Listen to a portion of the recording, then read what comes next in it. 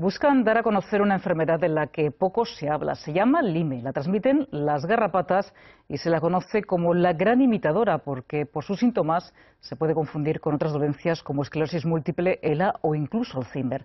Una enfermedad que en muchos casos no se diagnostica por desconocimiento. La enfermedad de Lyme se transmite por una bacteria a través de la picadura de las garrapatas. Fatiga crónica, dolores de cabeza y entumecimiento de las extremidades son algunos de sus síntomas.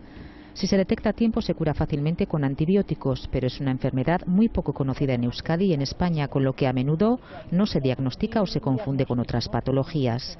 Es lo que les ha pasado a Yone, que tiene una hija enferma de 5 años, a Andrea y a Alfonso, al que diagnosticaron primero esclerosis múltiple y luego ELA toda la pinta de que sea una esclerosis múltiple, pero hay que esperar.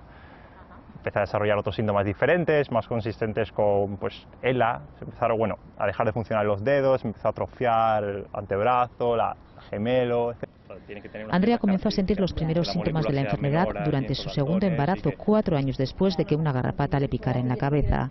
Los médicos no le decían lo que tenía y fue ella misma la que consiguió el diagnóstico. Acabé mandando una analítica a un laboratorio alemán eh, que vino positiva. La hija de Jones siempre estaba enferma desde que una garrapata le picó con 11 meses. Gracias a Andrea, que es prima suya, descubrió que su hija tiene Lyme. Para recibir tratamiento tienen que desplazarse hasta Bélgica, pero los resultados están siendo muy buenos. En Bruselas hay un médico muy bueno y bueno, tenemos la suerte de haber podido llevarle allí y ha tomado dos meses de antibiótico, empezó en diciembre y la verdad es que el cambio ha sido espectacular. Enfermos y familiares se quejan de que muchos médicos desconocen la enfermedad. A mí me ha pasado de ir donde médicos que no saben lo que es esta enfermedad y yo creo que eso no puede pasar.